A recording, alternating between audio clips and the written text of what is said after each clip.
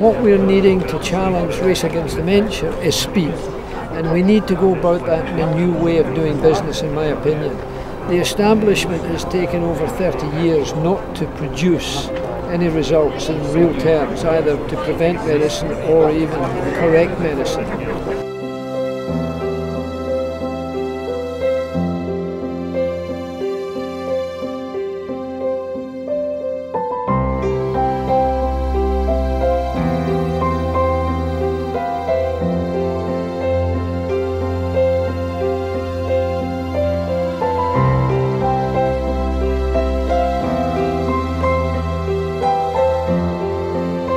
There's so many people, there's 50 million people in the world with it, and they're saying now that if, if you, the statistics are that one in three people born today will have dementia.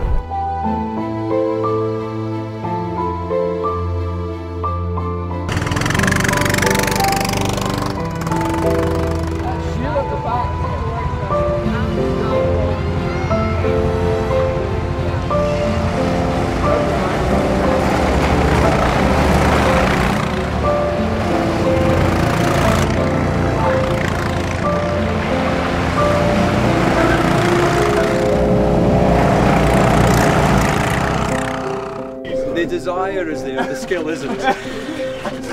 Does anyone know who actually won? Oh, I think that was me. Uh, you know, every 10 days there's a Grand Prix, and within those 10 days there are six major changes in the car that makes it go faster because they're desperate to win. Well, we're desperate to win. In Race Against Dementia, we've got to do it at a different speed than we've done it before.